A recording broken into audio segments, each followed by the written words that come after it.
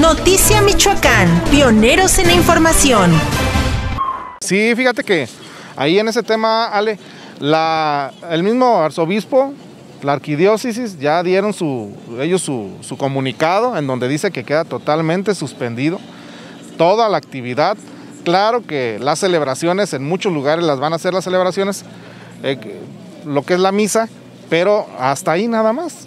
Algunos la pasarán en vivo, otros la harán ahí en, físico, pero pues la recomendación es que asista la menos gente posible. Hay muchas comunidades que es su fiesta, es su festividad, invitarlos a que nada más hagan eso. Por ahí yo escuché que en Tariacuri querían hacer toros, les van a hacer su recomendación de que no los hagan y si, si los hacen pues se los van a ir a parar. Entonces, ¿para qué le gastan? Mejor hay que esperarnos otro año y que estemos todos juntos a que este año vayamos y que pues el día de mañana mueran y no nos encontremos ni en Navidad Cabo, faltan poquitos días para Navidad, andamos sobre 14 días.